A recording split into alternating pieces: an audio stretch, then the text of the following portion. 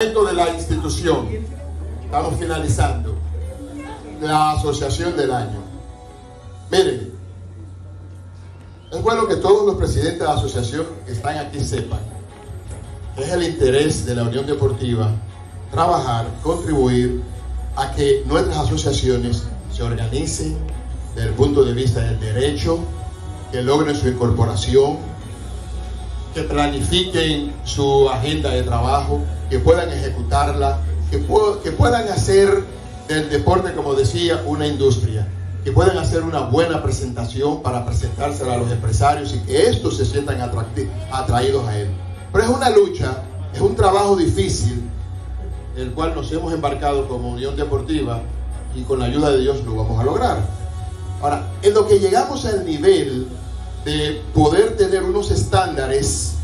que envuelvan diferentes aspectos para poder calificar una asociación como la mejor del año, estamos partiendo del único parámetro que tenemos en el momento, resultados en eventos nacionales, atletas colocados en las diferentes selecciones. No es lo único, es bueno que sepan, para usted ser una asociación del año, de acuerdo al criterio que vamos a, a establecer en la Unión Deportiva, no será solamente un elemento el hecho de que usted gane los eventos nacionales. Pero, como no hemos establecido todavía los estándares, mis asesores que están asistiendo con la cabeza aún no se han sentado conmigo para asesorarme. Vamos a partir de eso, Frank. Y la asociación más triunfadora del movimiento deportivo de la Romana es la Asociación de Atletismo, la Asociación del año 2023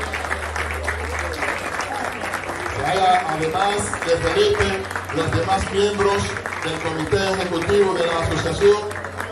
Asociación del Año.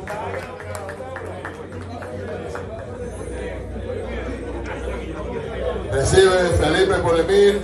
los demás miembros que conforman esa prestigiosa institución